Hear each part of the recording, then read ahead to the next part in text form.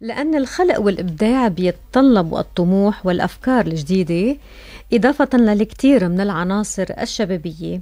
سيزار عمر المخرج الشاب آه، ابن ال 21 سنة؟ 20 سنة. 20 سنة. أنا زدتهم سنة. إن شاء الله بضل عمرك مديد وطويل. شكرا. آه، ضيفنا لحتى يحكي عن طموحاته لحتى يخبرنا عن سنات سنواته بالجامعة عن حلمه إنه يكون مخرج كبير وهو عم بيطلع السلم درجة درجة. لنحكي عن المجلة يلي نشرها على صفحات التواصل على الإنترنت Mood Magazine بعمر 18 قديش ولا كمان غلطان كمان. هذا العمر؟ لا مزبوط هذا العمر 18 صباح الخير سيزار. صباح الخير لك ولا كل المستمعين اللي عم يسمعونا اليوم. آه، سيزار يعني آه، شيء لافت إنه شاب بعمر 18 سنة هالقد يكون عنده طموح و Mood Magazine هالمجلة اللي انتشرت كتير يعني مزبوط. بالمنطقة العربية خصوصا إنه لما بتكون على شبكة التواصل بصير في تقارب أكثر بينك وبين وبين العالم آه، خبرنا كيف إجت فكرة إنه أنت تطلع بهالمجلة وبعدين آه، من إمتى كنت حابب إنك أنت تروح على سلك الإخراج حلو هيدي سلك الإخراج. سلك الإخراج. آه، فكرة مود ماجازين انطلقت فيها من خلال متابعتي للفيسبوك مثل أي مواطن بالعالم. عندي page تبعيتي على الفيسبوك ودائما بطلع على أهم الأخبار. نعم. فدايما بتلاحظ إنه آخر فترة قوت التويتر الفيسبوك أغلب الصحافة لجأت لتكون صحافة إلكترونية يكون عندها website. نعم. فطلعت بفكرة قلت ليه ما بعمل شيء مختلف؟ يكون فني ومهضوم ما بنأذي فيه غيرنا. يعني تكون صحافه كلاسيك بنعمل interview هات خفيفة مع أخبار صغيرة عن الفنانين. آه، حبيت أطلق مجلة Mood Magazine أحط فيها عدة أخبار صغيرة مع interview مرتبة مع cover نشتغل على colors ونعمل هذا ال group. حبينا تكون تجربة والحمد لله أول عدد كان علي عدد منيح من العالم يلي عم تقرأ وعم بتتابعه. وانطلقنا فيها للمجلة بشكل شهري تقريبا. نعم. ودايما كان لها متابعين. يعني على كل حال كمان آه، كونك بتصدرها هيك على شبكات التواصل آه، وأنت لك علاقة بالصورة وبالالوان قديش هيدا الشيء بشجعك وبيعطيك رؤية بعيدة آه، لأحلامك وطموحاتك؟ كيف بدك تكون الصورة المستقبلية اللي بدك ترسمها؟ سيزار. مزبوط. هو أهم شيء كان التركيز على الصورة تبعت المجلة. وما بدنا ننسى أنه في رابط بيننا بين اسمنا وبين المجلة. يعني كيف بدنا نظهرها؟ كمان مرتبط هذا الشيء نعم. باسمنا. فكان لكل character من الفنانين أو من الأشخاص اللي كانوا على ال cover تبعولنا style خاص فيهم mood بالأحرى خاص فيهم. فهذا هو كان السبب أنه أهم شيء نعمل طريقة كتير حلوة لحتى تكون ملفتة للنظر. لأنه مش أي حدا رح يفوت يتابع أو يقرأ موضوع غير إذا لفتته الصورة صحيح. بالاول صحيح. دائما هي الصورة هي اللي بتجذبك دائما ل آه، بتاخذ النظر وبتخلي الاستماع بعدين يجي والمتابعة أكثر صح. آه، سيزار خلال سنواتك الدراسية بالجامعة قديش مود ماجازين ساعدتك وقديش أخذت من وقتك وقديش هلأ بعدك حابب أنك تستمر فيها ويضل اسم سيزار عمرو آه، معلم على على المجلات الإلكترونية؟ آه هي Mood Magazine لها الفضل كتير كبير علي لأنه ساعدت اسمي ينتشر بالوسط الفني بشكل كتير سريع. يعني بظرف نحن سنتين قدرنا أنه ننتشر كتير بين الفنانين وصار في كتير ناس تسمع فينا وصار في كتير ناس تعزمنا على ال events تبعولها من افتتاح movies و covers لل albums تبعولهم آه Mood Magazine ساعدت اسمي كتير كتير بشكل كبير إنه ينتشر. و... وهذا السبب اللي خلاني فوت أكتر على مجال الإخراج. بعد ما فت على الإخراج كنت عطيها كل وقتي. هون صرت بمطرح أنه حبيت بمطرح انقسم شوي عن المجلة لأنه مثل ما بتعرفي صعبة أنه تكوني مرتبطة باسمين. أنه الناس بتصير تضيع إذا أنت صحافي أو إذا أنت مخرجة أو مصورة فوتوغرافية. فهذا السبب اللي خلاني أبعد هلأ شوي عن مود مع أنه كلهم صاروا هلأ عم بيحملوا أكتر من بطيخة بإيديهم. المهم ما يتفقشوا. مزبوط. سيزار آه، إمتى حسيت إنه حبيت؟ يمكن ده سؤال تقليدي بيكون بس آه، في كتير أشخاص ببلشوا من عمر صغير إنه يكون عندهم حلم وهدف وبيقولوا بكرة يلا بس يكبر بغير رأيه ولكن بضل هالفكرة وهالهدف وهالطموح هو اللي اللي علقان براسه وبده ينفذه وبده يحققه. من إمتى حبيت أنت إنك تدخل بعالم الإخراج؟ وشو اللي بهرك لحتى تقول أنا بالمستقبل بدي اكون مخرج؟ هلأ هو بتعرفي إنه الواحد ببلش من هو صغير آه، يفوت بهذا الجو. يعني من أنا وصغير كان عندي هواية الرسم وكنت أرسم دائما أشياء إنه شو ما أشوف قدامي حاول أرسمه وانسخه على الورق قدامي. بعدين آه، لما كنت صغير كان أول مبلغ بجمعه من المال يعني من آه، من تجميعات هيك يومية قدرت من الاجه صح. قدرت يكون عندي أشتري كاميرا كانت على أيام ال negative كانت 36 صورة. قدرت إنه جمع هذا المبلغ لأشتري هاي الكاميرا وبلش ألتقط الصور يلي بحبهم نعم. لذاكرتي فمن هيدا الفترة بلشت أكتر أتحمس على هذا المجال فوت أكتر بمجال التصوير أطلع أكتر على هذا المجال. وكتير عالم من حولي يشجعوني إنه ليه ما بتفوت تدرس إخراج؟ ليه ما بتفوت تتعلم التصوير؟ لأنه أنت شغلة بتحبها شغلة بتتحمس لها. نعم. آه فأخذت بعين الاعتبار هذا الشيء وحبيت آه انتسب لل academy تبعيتي اللي تعلمت فيها على مدى ثلاث سنين. نعم. ولقيت نفسي يعني بهذا يعني حضرتك المجال. خريج أكاديمية العلوم السينمائية والمسرحية. والمسرحية صحيح. نعم. وين موقعها؟ هي بسن الفيل.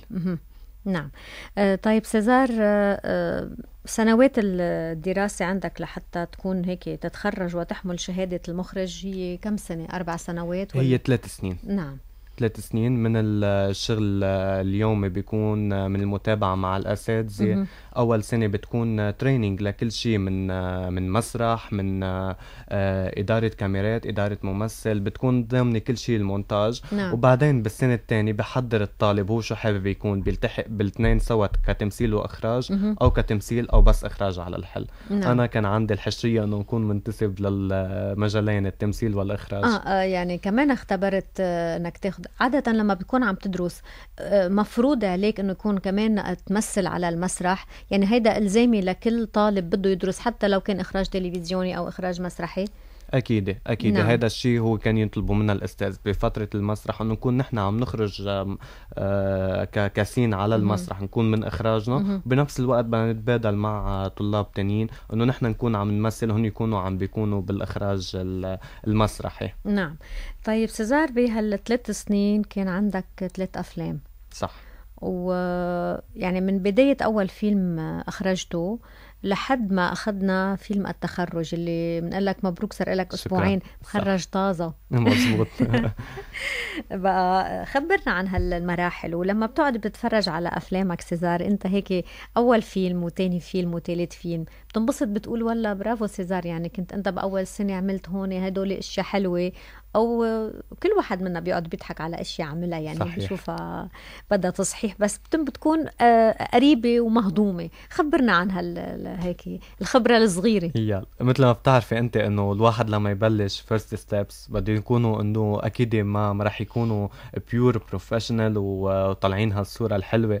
أكيد بتلاقي فيها كتير كتير أخطاء بين أول فيلم وثالث فيلم يعني بحضر بقول ليك هون ليه عملت هيك؟ لهذا الكادر أخده هيك؟ بصير لاحظ أخطاء إنه لا لو هلا عم بصوره كان أكيد طلع بطريقة مختلفة. نعم. فهذا الحلو إنه بأول عمل لآخر عمل وبالأعمال الجاية إنه كل عمل بيترك لك طابع يعلمك منه. طابع يعني أنت حلو. يعني بتحس حالك بالمستقبل رح تكون مثلا في كتير أشخاص بيقولوا أنا بعمل الشغل بس ما بحب أرجع أشوفه. بتحس إنه لا حشريتك بتخليك إنك ترجع تشوف وتتابع. يعني لتعمل follow up على شغلك شوف شو بدك تصلح شو بدك أكيد. تزيد تغير. أكيد. هذا الشيء آه، تطوير للذات. يعني بدك تطلع تشوفي وين أخطائك لحتى تحسني كرمال ما ترجع توقعي بالخطأ نعم. مرة ثانية طب سيزار هالأفلام اللي أخرجتها يعني كل فيلم عن شو كان عم بيحكي؟ شو هن آه، عن شو كل قصة كانت عندك؟ آه، أول فيلم كان اسمه حدود الحب. كان بيحكي عن قصة آه، آه، ربة منزل ربة قصر بالأحرى عندها كتير من المال وولدها ولدتها فرقت الحياة بتنغرم بالناطور عندها بالقصر وبتدور بيناتهم قصة حب وبيرجع حبيبها القديم يلي كان تركها وسافر لحتى يجمع المال ما هو عنده كتير مال كان. نعم. لما بيرجع بتقول إنه لأ أنا فضلت غيرك وبصير بيؤدي لبيناتهم لخلاف كتير كبير وهذا الخلاف بي بينشأ عن قتل هذا الشخص الثاني اللي هو الناطور بهذا القصر وبيرجع بيقتل حبيب حبيبته وبيغادر المكان. هذا كان أول آه فيلم. اسمه حلو حدود الحب. له حدود الحب. ما هيدا هو إنه ما له حدود حدود هو الموت كان لحتى نعم. تفارق هيدي القصة الحياة. نعم. القصة الثانية كان اسمها بتحمل بتحمل عنوان السلطة الرابعة.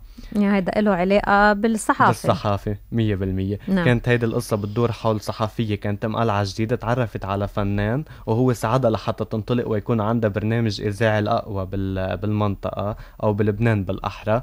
آه، من ما سبب لخلافات بيناتهم صار كل ما يخبرها هو خبرية تقولها على الهوا لأنه هو فنان وكتير معروف. سبب هذا الشيء لخلاف بينه وبين مدير يعني هذا هيدا مشهد شفته كمان إنه لما هيك بت بخبرها شيء وهي بتكون لايف بالاستوديو بتكون عندها بالإذاعة بيكون عندها برنامج صح. بالإذاعة وبتعلن الخبر. مزبوط نعم. تعلن الخبر وهذا الشيء بيؤدي لمشكل بينه وبين مدير أعماله. يعني هون عم بتحكي قديش آه، أوقات ما في مجالس بالأمانات. صح. صح إنه هذا كان اتصال من صديق لصديقة هي أخذتها من فنان نعم. عم بسرح يعني عم تعمل scoop هي وهيدا يمكن. فينا نقول scoop وفينا نقول إنه هيدي الصحافة الصفراء اللي بيقولوا عنها. اللي بس بهمها تلتقط الأخبار مزبوط. وما بتفكر بسلبياتها وسيئاتها على الآخرين وخصوصية للشخص طبعا. الثاني طبعا فبعد هذا المشكل صارت تطلق إشاعات على مدير اعماله وتشوه صورته للفنان وتنشر كثير أسرار كانت بينه وبينه بالآخر هو كذوق منه طلع معها بإذاعة ووصل المسج بطريقة كتير نظيفة إنه أنت غلطت كتير معي بس أنا بسامحك وبيختم الاتصال هون وهي بتبكي. هذا كان ال يعني خليتها تحس بالذنب خليتها تحس بالذنب هون بين هلالين آه، يعني فينا نحكي عن Mood Magazine. هل كانت Mood Magazine بتتبع الصحافة الصفراء ولا آه، هيك يعني بهمها تنبش الأخبار حتى لو كانت بتأذي الشخص ولا لنعمل نحن scoop ولا هذا الاتجاه ما رحت له هذا الاتجاه الحمد لله ما رحت له لأنه بتعرفي على مدى سنتين كان عندي كتير علاقات مع كتير أشخاص. إذا كل شخص بدي أقعد معه يعطيني شوي من اسراره وروح انشرها هذا الشيء ما رح يودي لأي علاقة بيني وبينه. يعني رح يبطل في ثقه بيناتنا. على مدى هيدي السنتين الحمد لله مع كل الأشخاص اللي حكيتهم واللي أعطوني كثير من أسرارهم إن كان ممثلين أو فنانين حافظت على هيدي ال privacy هذا الشيء خلى العلاقة تستمر نعم. لحد اليوم. فنحن لا ما من أول ما قلت لك إنه كانت مجله كلاسيك بنحكي أخبار كثير نظيفة أخبار عن الشغل بس ما بنفوت بالحياة على كل حال لازم تضلك مكمل فيها لهالمجله سيزار لأنه هذا كمان بيعطيك دعم آه، ودافع لإلك بشغلك لأنه بيطلقك كمان آه، بالمحيط العربي وبتعرف الناس عليك. ومش غلط إنه أنت تكون photographer ومخرج وكمان بتحب الصحافة. آه، منه غلط ابدا لأنه صاروا الأشخاص هيك بيوزعوا نشاطاتهم طالما أنت عم تعمل شيء فني راقي. آه، سيزار نحن قلنا آه، حدود الحب السلطة الرابعة والفيلم الثالث. الفيلم الثالث يلي هو عنده نكهة كتير خاصة هلأ هو على البلكون. أها على البلكون. حلو. شو في على البلكون خبرنا على البلكون. شو بدي خبرك عن البلكون؟ كوارث صايره على البلكون. هو فكرته إجت من خلال عده أفكار تجمعت براسي كهو يكون مشروع التخرج تبعي. أه حاولت ميز فكرة عن فكرة لحتى أجمعها ويكون الفيلم تبعي النهائي لهيدي السنة تبعيتي. قلت إنه حرام أظلم فكرة على حساب فكرة. نعم. ليه ما بعملها؟ قصة حلوة شعبية يكون فيها شوي من الفكاهة. جمعتهم بحي واحد حطيت كل الأفكار اللي كان بدي إياها وسميته على البلكون. ليه على البلكون؟ لأنه ال character الأصلي اللي هو الفيلم اللي هي بطلته نيفين شحاده دورها بالفيلم اسمه ناتاليا. هي character بيقعد على قدام البيت تبعه وبتراقب اللي رايح واللي راجع. وعلى أسرار وعلى كل نهار ليش ما بتحطوا character رجال مثلا؟ الرجال بحبوا يتحشروا ويحكوا أكثر يعني دائما عم بتحطوا المرأة بهذا الإطار الثرثرة بس الرجال بحبوا كثير الثرثرة. إيه بس ما تنسي نحن أنصفنا المرأة بآخر الفيلم وصلنا مسج عن التعنيف الاسري اللي هلأ نعم. هو كثير عم بيتوارد بالعالم العربي بالأخص وخاصة نعم. بلبنان. فحبيت إنه يكون في هيدي اللفتة اللي كثير مهمة إنه يكون في تضوية على هذا الموضوع العنف صحيح. الاسري مش كل شخص مظهره مرتب من برا احتمال يكون تصرفاته من جوا كمان نظيفه مزبوط فضوينا على هذا الموضوع وان الله راد بال part 2 للفيلم على البلكون رح نفوت أكثر بهيدي التفاصيل. آه بتحضر جزء ثاني لإله. مزبوط هو هذا نعم. كان ال part part 1 يلي هو introduction عن كل الفيلم. نعم. وان الله راد بال part 2 رح يكون في أكثر ضوي على هالحاله تبعت ندى يلي كانت بطلتها توما فرحات عن العنف الأسري. نعم. آه، سيزار آه، هالأفلام الثلاثة يعني لما آه، بتطلع فيهم وبتتابعهم بتقول حتى لو في محلات نقاط ضعف بس حلو إنه الشباب يشوفون يحضرون. ليش ما بتنزلهم مثلا على على الإنترنت لحتى يكون في عندك فيورز أكثر متابعين أكثر ويتعرفوا على شغلك؟ ومش غلط إنه المراحل اللي عم تتنقل فيها خلال سنين دراستك ولا تخرجك. وبعدين بالمستقبل كتير حلو إنه كمان بتشجع الشباب اللي عندهم طموح ليروحوا صوب الإخراج. آه، هو الفيلمين السلطة الرابعة وفيلم على البالكون كانوا منتشرين على اليوتيوب. هني بمتداول أي حدا لحتى يشوفهم على نعم. اليوتيوب. آه، حب آه، فيلم على البالكون أكتر عملت له تسويق على الفيسبوك ختامه مسك بقولها للمشوار التخرج. نعم. كان عليه كتير متابعة وطلبت كتير من العالم يكون عندي feedback عليه. آه الحمد لله بعد آه ما انتشر بخلال أربعة أيام كتير إجاني آه inbox messages من خلال تلاميذ متخرجة من جامعات كتير مهمة نعم. إن كان بلبنان أو خارج لبنان ومنهم بيكونوا دارسين إخراج كتير إجاني ملاحظات كتير مهمة وأكيد باخد فيها بعين الاعتبار وأكتر كانت قراءة للفيلم أه. يعني كتير عالم آه، فهمت هيدي ال... هيدي ليش الصورة هيك من شو بدي أوصل هيدا هيدا هيدا, حلو يعني يصير في آه نقاش نقاش صح. حول حول الصورة حول حول ال angles اللي عم تاخدوها حول الفكرة حول الموضوع كيف عم بينطرح؟ مزبوط نعم. مزبوط. كتير إجاني comments كيف بلش الفيلم كيف انتهى الغموض اللي كان بنص الفيلم شو رح يصير بال ending والحمد لله إنه بعد ما له لحد هلأ رح يصير له شي جمعه الفيلم على الإنترنت على اليوتيوب لحد هلأ بعد ما إجاني ولا نقد سلبي جارح. بالعكس. حلو حلو. إن شاء الله هيك دائما بتكون أعمالك. سيزار آه، حكينا عن سيزار المخرج سيزار يلي اقتحم عالم الصحافة كانت أول بداية لإلك قبل ما العالم تعرفك كمخرج وكمصور فوتوغرافي. التمثيل كونك حبيت الاثنين وأخذت الاثنين. خبرنا رح نشوفك آه، قريبا بشي أعمال تلفزيونية سينمائية. رح يكون سيزار عمر مبلش البراتيك تبعوله بالتمثيل. أول ما رحت لحتى أسجل بالجامعة تبعيتي كنت حاطط التمثيل هدف. هدف قدامي وخلص مش شايف غيره لاخراج ولا تصوير ولا شيء آه بعد ما فت وتعلمت أكثر وتقربت أكثر لعالم الإخراج طلعت هيك عن بعيد كنظرة سطحية للموضوع إنه التمثيل إنه ما كتير من الممثلين عم بي عم بيكون عم بيواجهوا صعوبات كتيرة بالحياة ليه أنا بدي ألتحق بهذا المجال؟ نعم. طلعت هيك بمطرح تاني إنه هذا شغف للفنان هذا لازم يكون آه بيترك بالنهاية بصمة. لاسم الشخص. آه عملت استراتيجي عم بتبعها. هلأ إنه بلش انطلق بشي مطرح بشركة إنتاج أو بشي تلفزيون أو بأي عمل. وبعدين بصير بلتحق بمجال التمثيل شوي شوي. نعم. بصير بقدر أتقرب أكثر هلأ أنا كتمثيل إنه كنت ناجح بال academy. كان دائما علاماتي بال B plus وطلوع A plus فأكيد عندي عندي هذا الحب للتمثيل. وإن الله راد لما تكون الفرصة المناسبة لحتى أكون موجود بأي عمل أكيد ما رح أقول لا. نعم. سيزار نحن بنتمنى لك التوفيق وبانتظار كمان على البلكون ينتشر ونشوف الجزء الثاني ونشوف لك أعمال أكثر بتحس حالك سيزار إنه بالمستقبل بتروح للإخراج السينمائي ولا بتفضل الإخراج التلفزيوني؟ هي بتحس بيطلقك أكثر هلا مثل ما بتعرفي إنه كل مخرج هدفه بالحياة إنه يعمل فيلمه.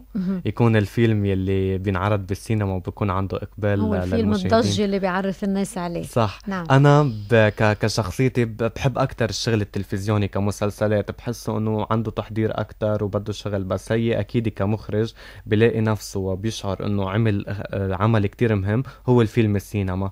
فما عندي مشكلة إنه بلش بالمسلسلات اللبنانية وأرجع بعدين أنتقل على الفيلم اللبناني. إن شاء الله إن شاء الله. نحن عن قريب كمان بنشوف لك هيك أعمال كبيرة وناجحة لأنه أنتم الشباب نحن بنحب نتكل عليكم بنحب نشوف الرؤية الجديدة والطموحات يلي أنتم عم تهدفوا لها ورايحين لها وبالنهاية آه، بدنا إياكم تضلوا ببلدكم بدنا إياكم تضلوا بلبنان لأن بدنا لبنان تحبوه أنتم بقلبه عايشين فيه مش من برا من الخارج. إن شاء الله. هلأ إن شاء الله الدولة كمان تسعى لحلول أكثر يعني توسع لنا أكثر هذا النطاق لحتى نقدر نحن نضلنا مستمرين. وفي حال ما قدرت عملت شيء نحن مستمرين على الحالتين يعني. على كل حال كمان يعني من خلال وجودك آه، بدي هيك وجه تحية للنقابتين يلي عم بيجتمعوا لحتى بركي بتتحلحل الأمور وبصير في عنا نقابة وحدة.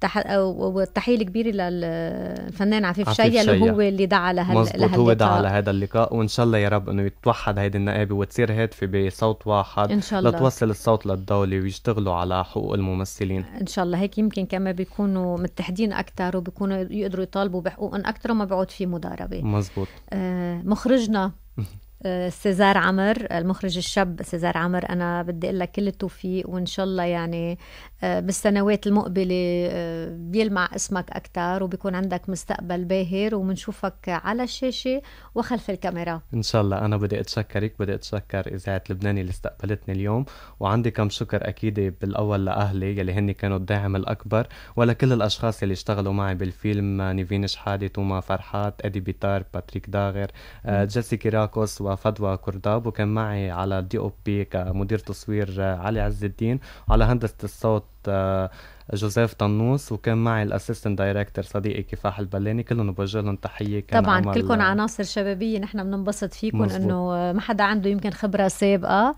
مبلا كان في منهم عندهم خبرة في منهم مدرسين معي تمثيل إيه أنا بقصد إنه خبرة سابقة يعني إنه ما مش منطلقين كتير بعالم مزبوط. السينما أو بالعالم مزبوط. الفن. صح. كلكم بعدكم براعم عم بتشتغلوا عم بتقدموا لنا نتاج إن شاء الله كمان هيك هالنتاج بيكبر. آه، سيزار عمر شرفتنا بإذاعة لبنان وإن شاء الله بيكون نهارك موفق. شكرا. وأيامك كلها نجاح. شكرا لك رولا. أهلا وسهلا فيك. thank you شو واثق بحلو وشو قلبه قوي. وقلبي من